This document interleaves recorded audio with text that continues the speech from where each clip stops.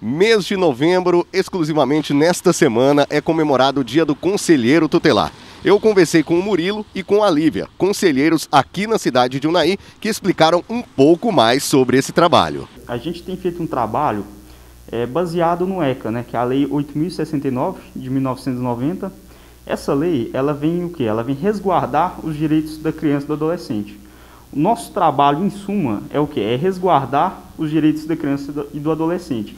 Então, o conselho ele vem atuar toda vez que esse direito é violado.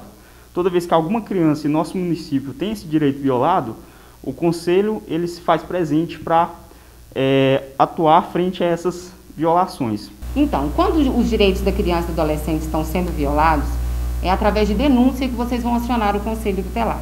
Através dos telefones 3677 4961 ou 9 9942 9540 ou no 99846 5682. Esses são os telefones da sede do Conselho Tutelar. Esses telefones celulares, eles, eles funcionam 24 horas por dia, 7 dias da semana. E tem os, os Disque 100 e 181. Lembrando que 24 horas por dia pode acionar que o Conselho Tutelar irá atuar. Murilo, quais as dificuldades aí que vocês, conselheiros e o Conselho Tutelar, encontram aí pelo caminho? Bom, é, são inúmeras dificuldades, né? A, a, a, primeira que a gente tenta enfrentar é a questão de algumas denúncias infundadas, né? Muitas vezes os pais eles tentam é, usar uma suposta violação de direito para prejudicar o, o, outro cônjuge, né?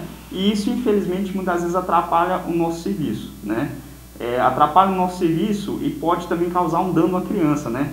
Isso a gente até dá sugestões aos pais para evitar esse tipo de mal. Porque talvez ele pense, ah, eu estou agora né, conseguindo algo que eu queria, mas ele não está vendo o prejuízo que ele vai causar na vida daquela criança. E muitas das vezes o Conselho Tutelar ele deixa de atuar mediante uma demanda verídica que está ocorrendo para estar tá atuando em um caso que talvez né, é, poderia não, tá, não ter sido acionado, não poderia ter acionado o Conselho. Né? Muitas vezes acontece isso, esse mal que, que nos atrapalha no serviço. Vale lembrar que o Conselho Tutelar trabalha em rede é juntamente com a Polícia Militar, Polícia Civil, Promotoria e a Secretaria de Ação Social.